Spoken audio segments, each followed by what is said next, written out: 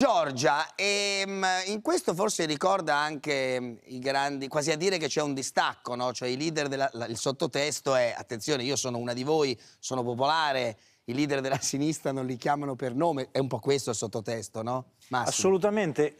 Guarda, eh, rivendico la primazia di questa definizione. Il voto a Giorgia di oggi eh, ricorda il voto Antonio di Totò in chiave moderna, no? In che senso?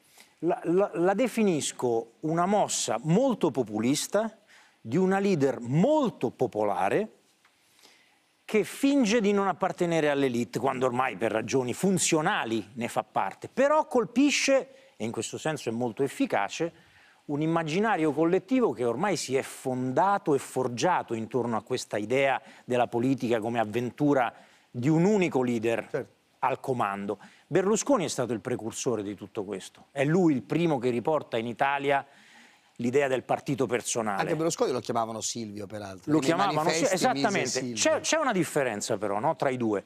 Intanto anche Berlusconi è stato il primo che ha introdotto il nome sulla scheda, non Certo. esisteva in Italia. Quindi anche questo è, sta- è parte di un processo che a destra è iniziato con il Cavaliere. La differenza qual è? Anche questa molto astuta, sia dal punto di vista del, del capostipite sia dell'erede. Berlusconi diceva agli italiani, si faceva chiamare Silvio, i bagni di folla, eh, io vi rappresento, se voi ce la mettete tutta potete diventare un giorno come me, Il sogno. fare miliardi, esatto, il sole in tasca, no?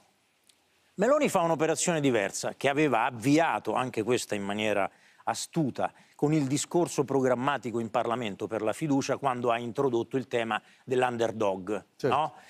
La narrazione dell'underdog, la persona svantaggiata che svantaggiata. viene dal popolo, che esce da, lo dico con rispetto, ma l'MSI era il partito che stava nelle fogne, si diceva ai tempi Questo della a- a contestazione sinistra si giovane- a, diceva sini- questa a sinistra, esatto.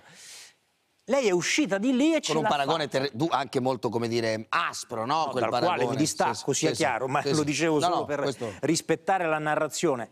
Ecco, lei riprende quel filone e dice io non sono cambiata, io sono ancora una donna del popolo.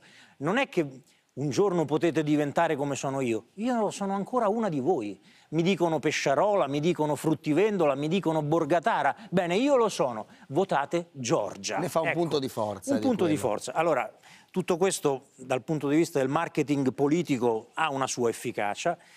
Eh, c'è poi un tema invece più istituzionale che naturalmente invece depone a sfavore di questo processo. Perché?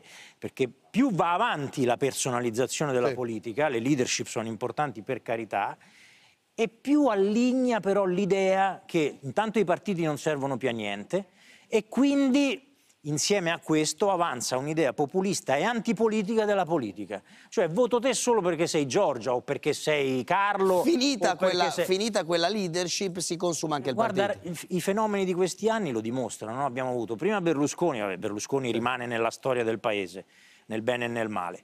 Poi abbiamo avuto una dinamica analoga per Renzi, ce l'abbiamo avuta per Grillo, ce l'abbiamo avuta per Salvini. Adesso tocca a lei. Le leadership si consumano in questa stagione storica con una velocità che in passato non era data in natura. E l'altra Quindi- analogia che vi viene in mente